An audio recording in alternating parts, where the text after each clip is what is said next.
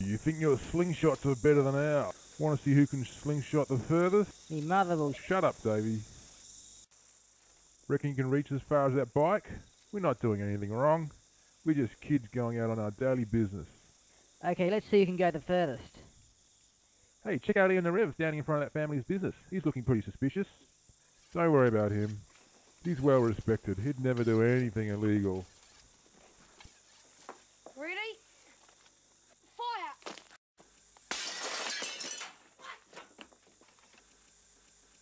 Hey, you dastardly kids!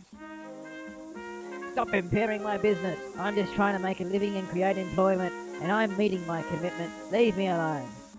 I'll get him. Oh, thank you, Ian. What would I do without you? So I'll do what I can to appear like I'm helping out, even though I actually caused the business impairment in the first place. Ease up, wait forward, breathe deep.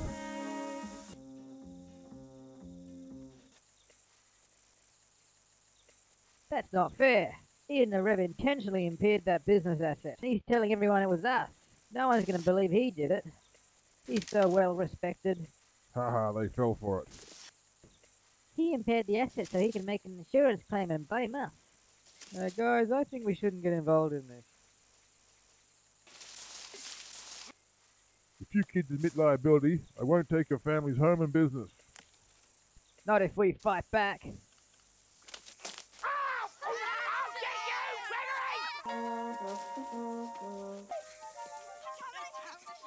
We've got to do something to stop this Ian Narev. The biggest villain in the whole country.